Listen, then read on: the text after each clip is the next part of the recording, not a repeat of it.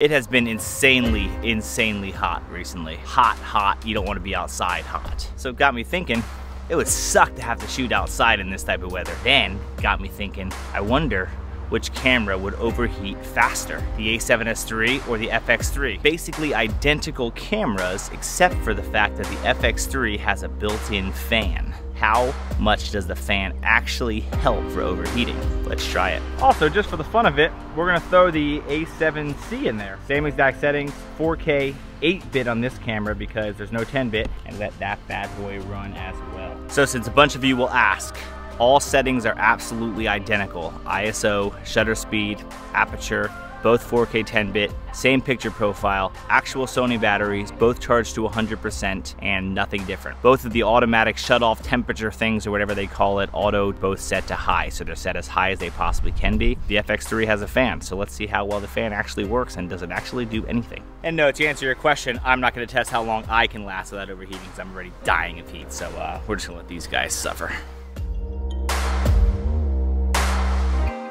Just past 30 minutes in, A7S3 still having no problems, 76%, no sort of heat warnings. FX3, no problem at all as well, at 73% battery and no heat warnings. A7C is just behind at 23 minutes, but already a heat warning on the screen. So, uh...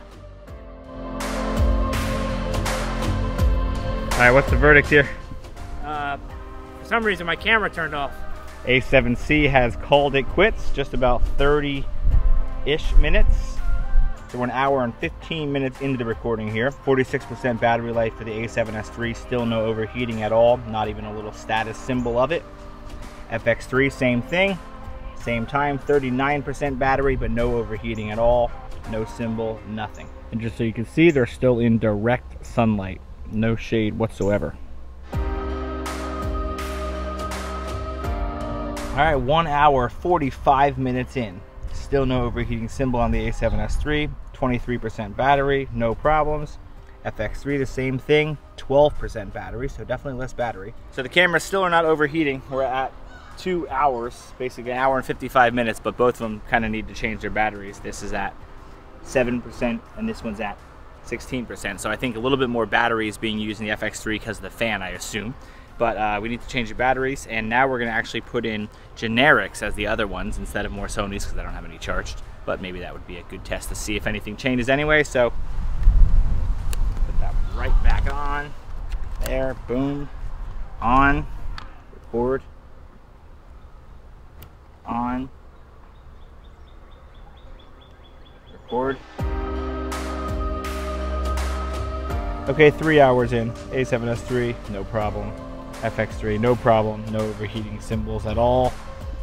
Uh, can't really see the screen on this, but uh... So what did we learn after three hours in direct sunlight, like a real feel of 100 degrees with the A7S III and the FX3? Well, we learned that uh, there's nothing really to worry about whatsoever. Neither one of them even came up with a warning of overheating.